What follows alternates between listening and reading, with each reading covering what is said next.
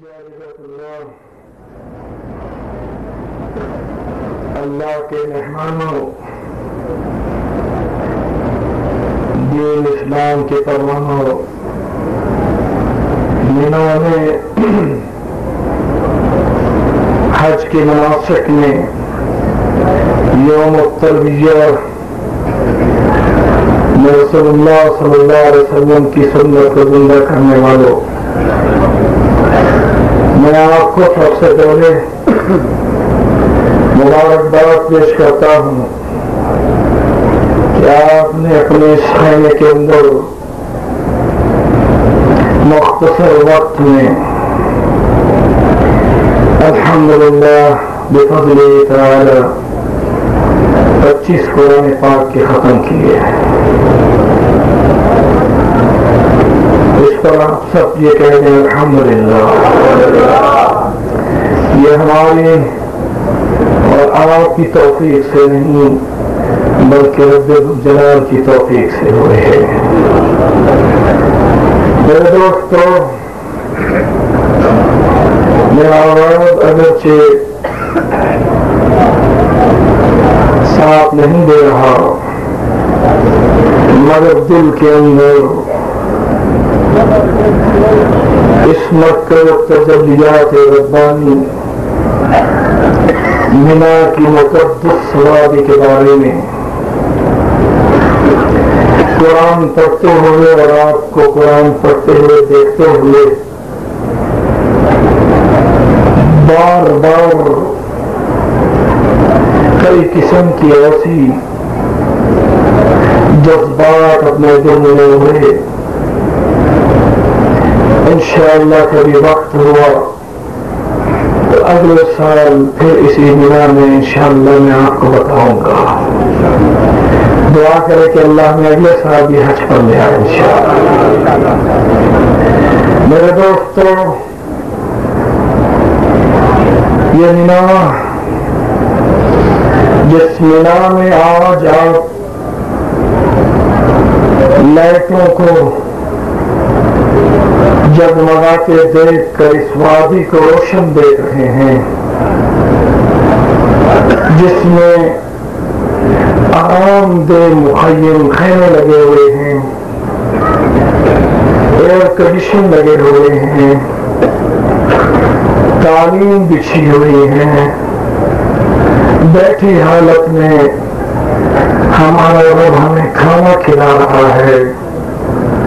ہمیں چائے پلا رہا ہے۔ ہمیں ڈاکٹر کی سہولت حاصل ہے۔ ہمیں پانی میسر ہے۔ ہم وضو کر رہے ہیں۔ پھر آرام کر رہے ہیں۔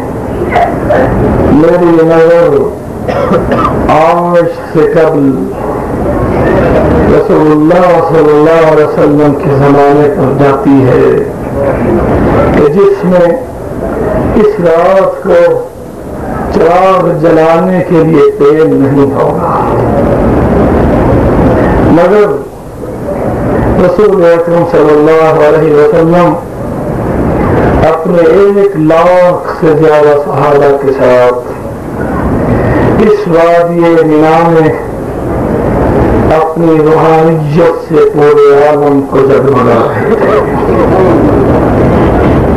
اس سے قبل میری نظر جاتی ہے تو یہ مینا یہ مینا کی وادی، ایک ویران سی وادی، جس میں نہ چرند ہے، نہ پرند ہے، نہ درخت ہے، نہ خیمہ ہے۔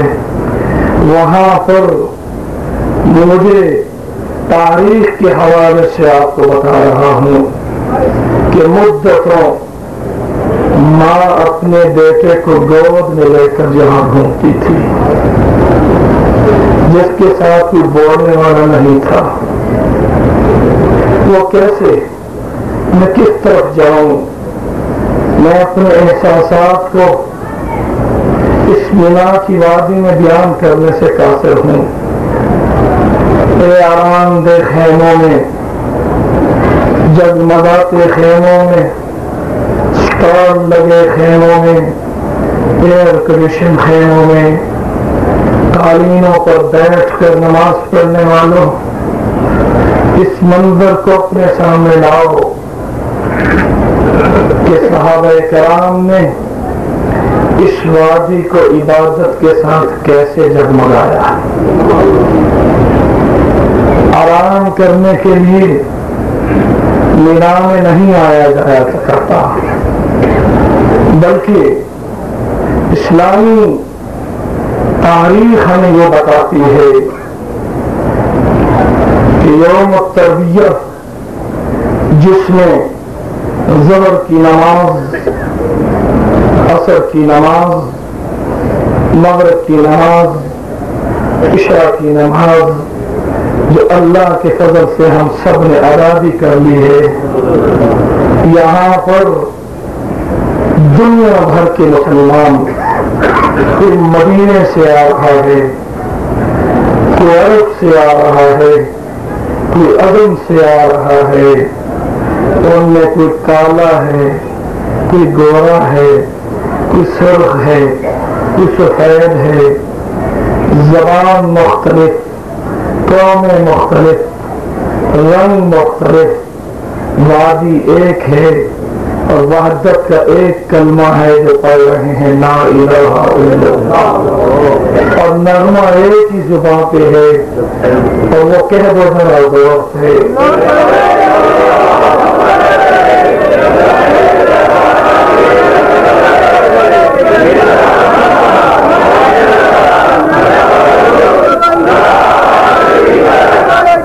مکہ سے آنے والے متمکے احرام باندھنے والے یا اپنے نکاح سے قیام کا احرام باندھ کر عمرہ کرنے والے یا اپنے اس نکاح سے افراد کی نجت سے صرف حج کرنے والے، ایک ندا کے ساتھ، ایک صدا کے ساتھ تلبیے میں یہ ثابت کرتے ہیں کہ مولا کریم الزوجل ہم تیرے بندے ہیں، ذات، پاک، نسل اور قوم کی تمیز کیے بغیر اسلام کے جھنڈے کے نیچے، وحدت کے ساتھ، توحید کے جھنڈے کے نیچے، جہاد بھی سبھی اللہ کے عظم کے ساتھ ہم مسلمان یہاں اکٹھے ہو کر تیرے ہاں اپنی حاضری کا یوں ثبوت دیتے ہیں، کہہ دو لبے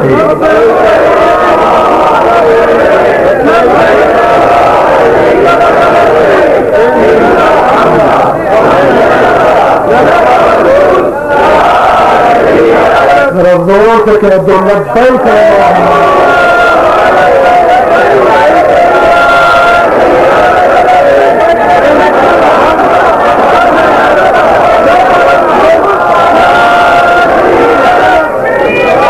پھر میری نظر کبھی پہنچتی ہے وہاں پہ فضل، یا شیخ بدر قاسمی صاحب تشریف لائیے۔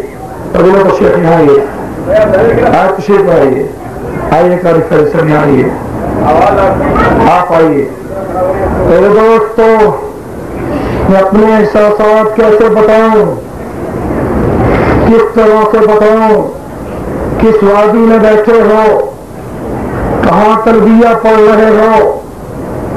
روشنیوں میں بیٹھنے والے حاجیوں، قالینوں پر بیٹھنے والے حاجیوں، مجھے تو رسول اللہ صلی اللہ علیہ وسلم کی ہجرت سے قبل رات کے اندھیرے میں بندوں کو ڈھونڈتے ہوئے اسی ملا میں ایک منظر سامنے آتا ہے، جس منظر میں چند چند مدینے کے لوگ ہیں۔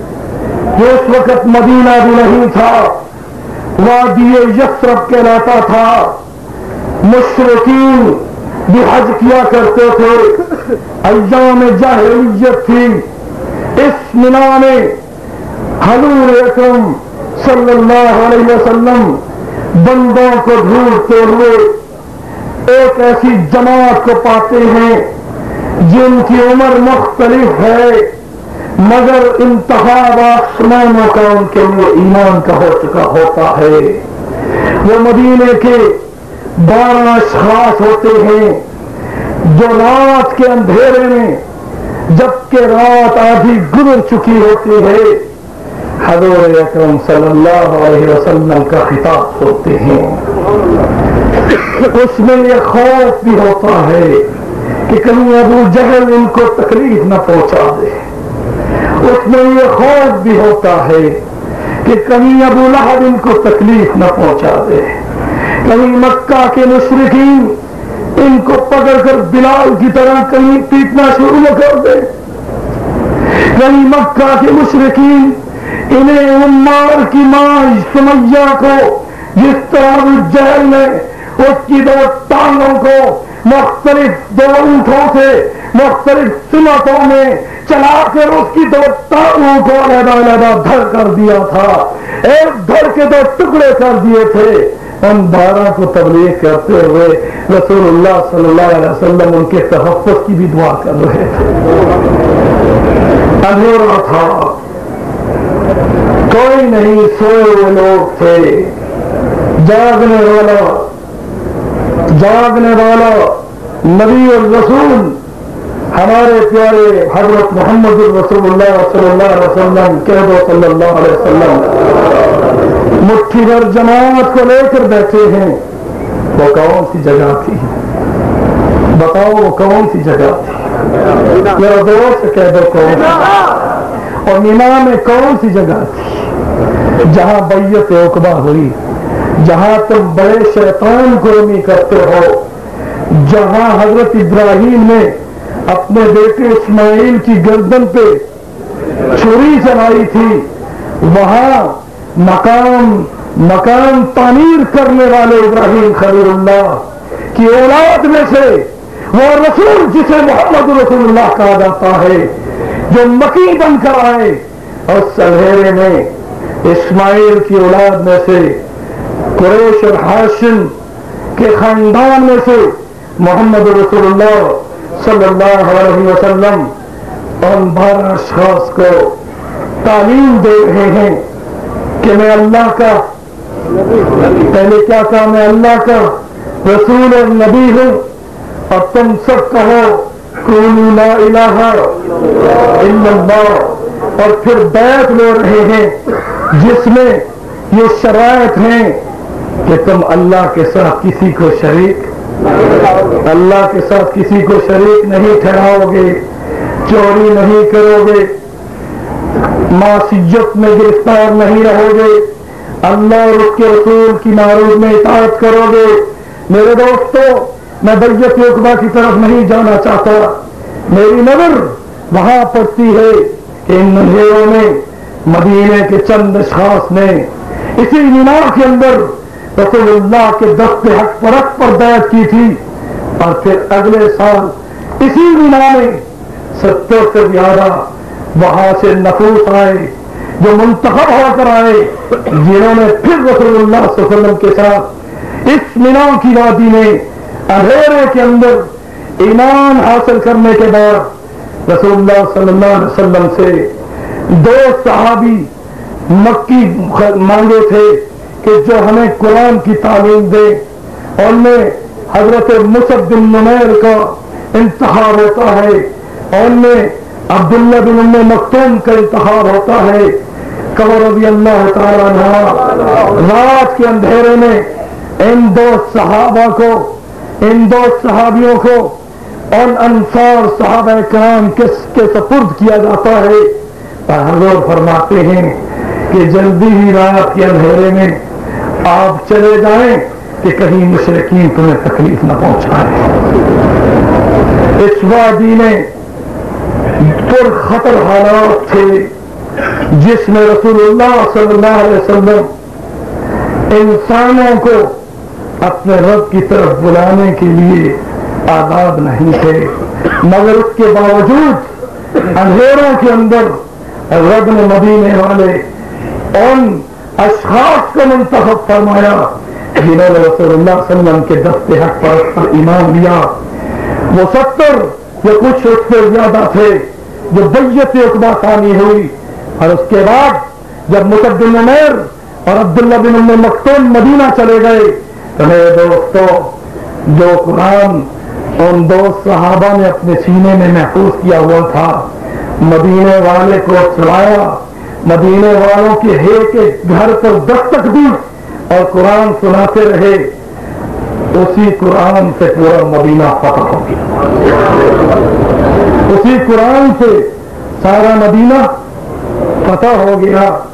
پھر ہجرت صحابہ نے فرمائی، پھر رسول اللہ نے فرمائی، میرے ذہن میں مینا کے بارے میں جو تصور ہے میں یہ پتا ہے کہ مدینے کے انصار جو کہ بعد میں مہاجرین کا وہاں پر دار ہجرت بننا اور مرکز اسلام مدینے کا بننا اور کی دراصل بنیاد وہ مینا کی باتیں تھی آج بھی اگر ہم اسلام کے لیے اس ایمان پر ثابت قدم ہونے کے ساتھ اس وادی میں ہاتھ کرنے تو گویا ایسے ہیں جیسے انصار نے رسول اللہ کے ہاتھ پر دستے پر بیعت کی تھی اور جب ان انصار نے بیعت کی اور مدینہ مرکز اسلام بنا آہد کریں۔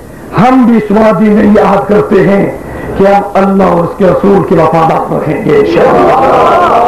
تو اللہ اکبر۔ میرے دوست پھر میری نظر مینا میں ہجرت کے بعد جب حج فرض ہوا اور پھر پہلا قافلہ مسلمانوں کا حضرت ابو بکر صدیق کی عمارت میں آیا، اس میں یوم التربیہ کو ہم صحابہ کا پڑاؤ یہاں نظر آتا ہے۔ اس کے بعد اس میں یہ اعلان سنایا جاتا ہے کہ اگلے سال رسول اکرم صلی اللہ علیہ وسلم تشریف لائیں گے۔ پہلے اندھیروں میں ڈھونڈتے تھے۔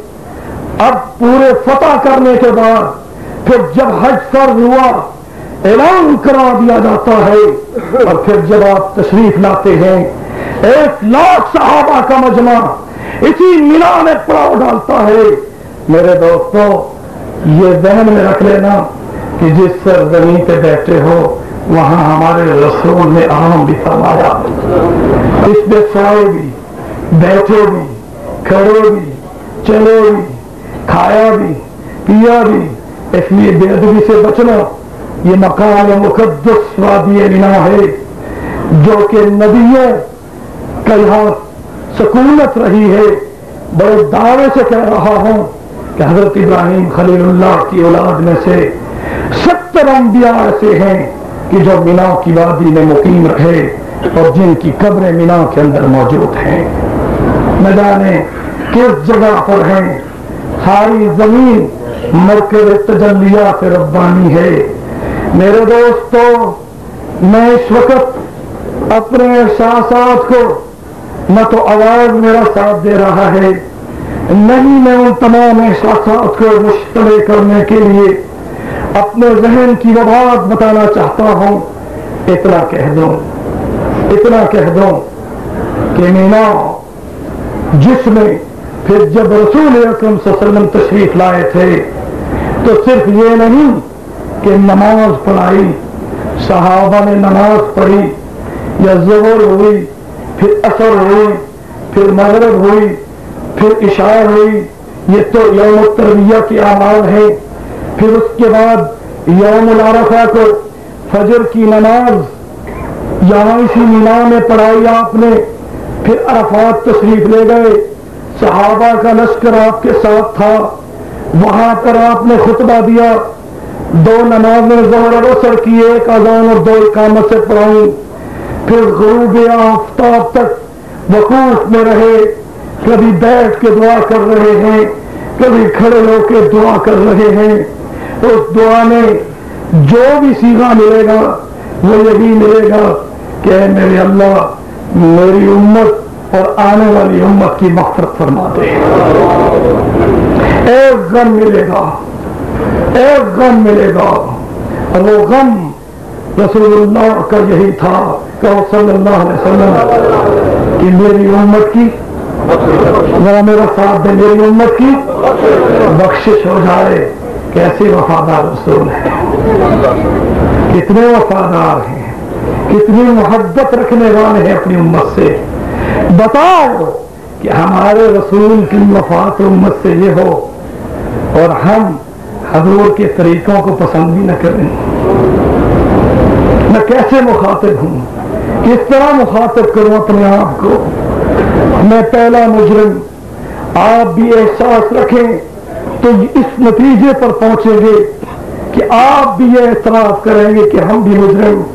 کس لیے کہ پھر جب پھر رات آئی اور پھر غروب آفتاب کے بعد حرور مزدلفہ تشریف لائے، وہ للت النہر کی جو آنے والی رات ہوگی انشاءاللہ۔ اس میں پھر گر گئے سجدے میں۔ آؤ دیکھو، سنو اس بات کو کہ یہ زمین حضور کی آنسوں کی گواہ ہے۔ یہ زمین عرفات ہو یا مزدلفہ ہو مینا ہو یا مکہ اور مدینہ ہو، حضور کے وقوف کھڑے ہونے کے ساتھ، نمازوں کے ساتھ، دعا کے ساتھ گواہ ہے۔ مشر حرام، جسے مزدلفہ کہتے ہیں، یہاں پر آپ کی وہ دعا بھی قبول ہوئی جو عرفات میں قبول نہیں ہوئی تھی۔